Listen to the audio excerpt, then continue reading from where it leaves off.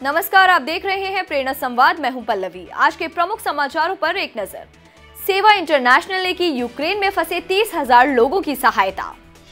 Ukraine में फंसे लोगों के लिए सेवा इंटरनेशनल लगातार वरदान साबित हो रहा है।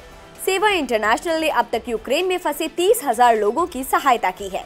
रूस के हमले के बाद से यूक्रेन में फंसे लोग समस्याओं का सामना कर रहे हैं। सेवा इंटरनेशनल ने भारतीय, अफ्रीकी, यूक्रेनियन लोगों के अलावा कई अन्य देशों के नागरिकों की मदद की है। सेवा इंटरनेशनल के रिलेशनशिप मैनेजर विनोद पिल्लई ने बताया कि हमारा उद्देश्य उन लोगों की मदद करना है, जो लोग संकट में फंसे हैं। हम उन लोगों को रहने के लिए जगह और खाद्य सामग्री उपलब्ध कराते हैं। उन्होंने बताया कि संगठन में लोगों की मदद करने के लिए काफ़ी संख्या में स्वयं सेवक है, जो लोगों तक पहुंचकर उन्हें मदद पहुंचाते हैं।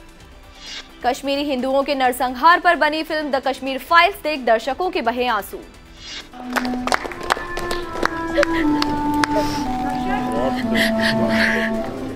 कश्मीरी हिंदुओं की नरसंहार पर बनी फ़िल्म द कश्मीर फाइल्स की स्पेशल स्क्रीनिंग की गई, जिसे देखने के बाद दर्शकों के आँसू थमने का नाम नहीं ले रहे थे। कश्मीर फाइल्स में 1990 के दशक में कश्मीरी हिंदुओं के नरसंहार की कहानी को दर्शाया गया है। फ़िल्म 11 मार्च को रिलीज़ हो रही है। यूपी में टीकाकरण से छूटे साढ़े आठ लाख बच्चों को लगेंगे टीके। सात मार्च से शुरू होगा इंद्रधनुष अभियान। कोरोना संक्रमण के कारण उत्तर प्रदेश के कई बच्चे रूटीन वैक्सीन लगवाने से छूट गए हैं। ऐसे करीब साढ़े आठ लाख बच्चों को अभी तक चिन्हित किया गया है। सात मार्च से मिशन इंद्रधनुष शुरू किया जा रहा है, जिसमें विशेष रूप से इन बच्चों को वैक्सीन लगाई जाएगी।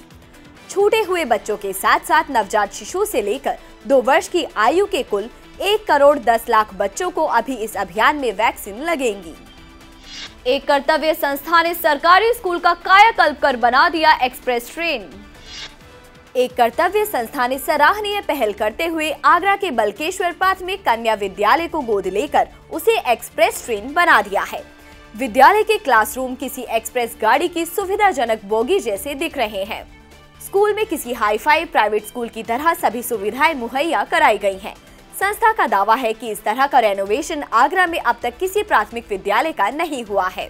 किन्नर समाज के लोगों से विद्यालय का उद्घाटन कराया गया। बल्केश्वर प्राथमिक कन्या विद्यालय के रेनोवेशन के बाद अब विद्यार्थियों की संख्या भी बढ़ने लगी है। ये हमारे स्कूल में एनजीओ ने जो डेकोरेशन का काम पेंटिंग का काम ये सब कराया है it made the school very awesome I was very surprise to see all that these people have done a very good job in my school.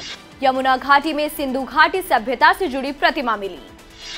Doon पुस्तकालय एवं शोध केंद्र की पहल पर पुरातत्व व इतिहास के शोधार्थियों ने उत्तरकाशी ज़िले के देवल गाँव से पाषाण निर्मित महिषमुखी चतुर्भुज मानव प्रतिमा खोज निकाली है।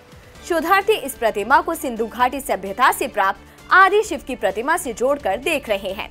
उनका कहना है कि प्रतिमा सिंधु घाटी सभ्यता और उत्तराखंड के पारंपरिक संबंधों को रेखांकित करती है। इस दुर्लभ प्रतिमा का प्रकाशन रोम से प्रकाशित प्रतिष्ठित शोध पत्रिका ईस्ट एंड वेस्ट के नवीनतम अंक में हुआ है, जो इसके पुरातात्विक महत्व को दर्शाता है। कपड़े में लगा सेंसर बताएगा किस जगह है जवान। उत्तर प्रदेश वस्त्र एवं प्रौद्योगिकी संस्थान में छात्रों को रोज़गार परक शिक्षा और कौशल के गुण सिखाने के लिए इंडस्ट्री इंस्टीट्यूट मीट और उन्नीस सौ सत्तानवे बैच के पूर्व छात्र छात्राओं की एलुमिनाई मीट का आयोजन हुआ। इसमें विभिन्न कंपनियों व विभागों में कार्यरत पूर्व छात्रों संघ, उद्यमी व विशेषज्ञ भी उपस्थित रहे। इस दौरान डीआरडीओ के ज्वाइंट डायरेक्टर डॉक्टर के के गुप्ता ने बताया कि संस्थान में सेंसर फिटेड कपड़े बनाए जा रहे हैं, जिससे जवान की लोकेशन ट्रेस की जा सकेगी। अब एक नज़र आज की सुर्खियों पर। पीलीभीत में स्वयंसेवकों का दो दिवसीय प्रशिक्षण वर्ग संपन्न।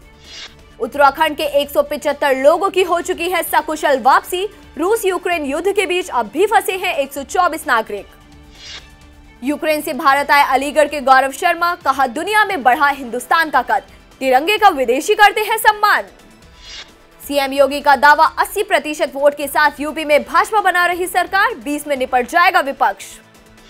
चंदौली के जफरपुर गाँव में केंद्रीय कैबिनेट मंत्री डॉक्टर महेंद्र नाथ पांडे व भाजपा प्रत्याशी रमेश जायसवाल के काफिले पर हमला, टूटा कार का शीशा। सीआईएसएफ के तिरपनवे स्थापना दिवस पर शामिल हुए गृह मंत्री अमित शाह निशान टोली को दी सलामी। प्रधानमंत्री नरेंद्र मोदी ने कहा, सरकारी योजनाओं के लाभार्थी सियासत का हिस्सा नहीं, वे विकास योद्धा।